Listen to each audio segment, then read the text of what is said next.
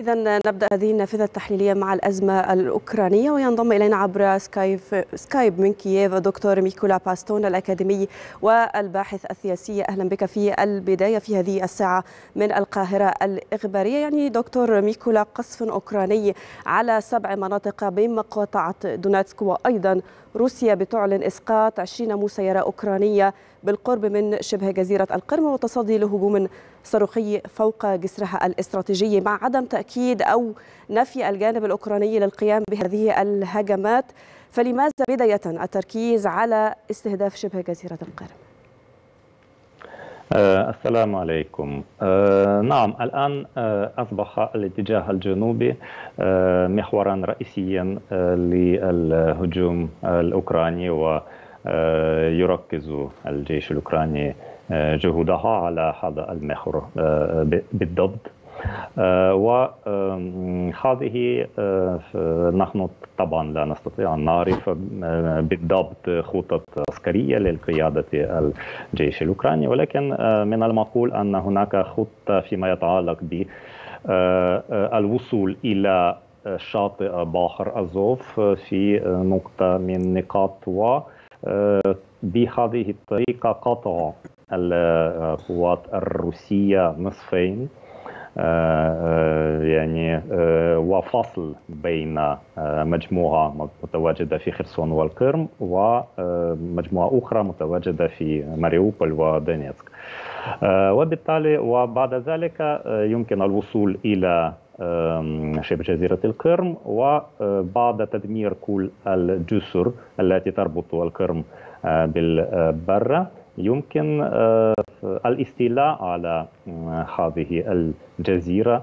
بشكل وهي نقطة استراتيجية طبعا مهمة جدا. وبالتالي من المعقول أن الآن وهذا أولا. وثانيا تكون جزيرة القرم يعني عنصرا مهما لخطوط لوجستية للجيش الروسي. وبالتالي طبعا هذه الضربات وهناك قواعد الأسطول البحري للبحر الأسود والروس يستخدمونه لإطلاق الصواريخ على المدن الأوكرانية دائما من طراز كاليبر وطبعا تدمير هذه القواعد و مستودعات الوقود والذخائر أمر مهم جدا.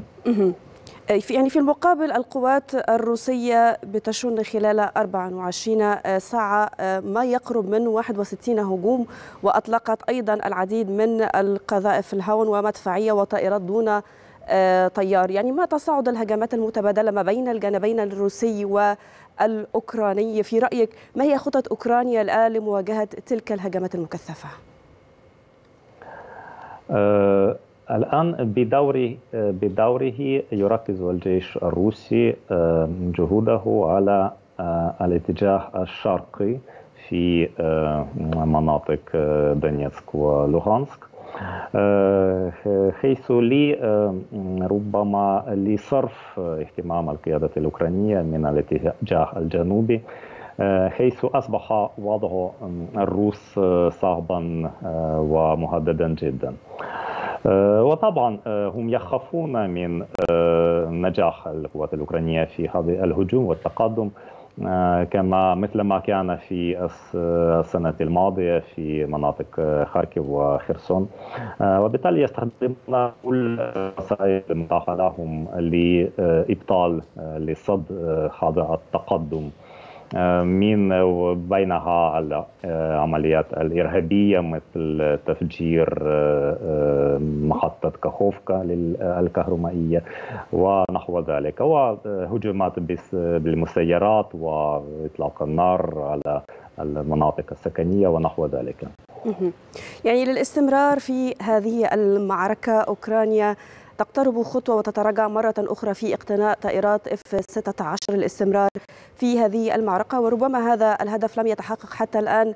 يعني لأسباب تذكر بعدم خبرة الأوكرانيين ومرة أخرى أيضا بتأخر البرامج التدريبية البيت الأبيض في واشنطن أعلن أنه مستعد لتدريب الطيارين الأوكرانيين على هذه المقاتلات في حال إذا سمحت الولايات المتحدة لأوكرانيا باقتناء هذه الطائرات طائرات إف 16 إلى أي مدى سيسمح هذا بالتعمق في مزيد من العمق في في العمق الروسي لأوكرانيا؟ أعتقد أن الحصول على طائرات اف 16 كل شيء طبعا يتعلق بعدد تلك الطائرات لأن أوكرانيا تحتاج إلى عدد كبير إلى مئات منها.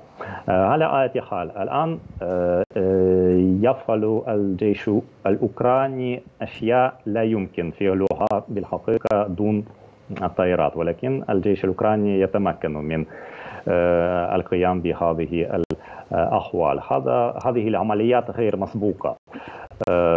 وإذا كان الجيش الأوكراني قادرا على ذلك بدون دعم الطائرات فبعد الحصول على طائرات ستزداد قدراته بكثير.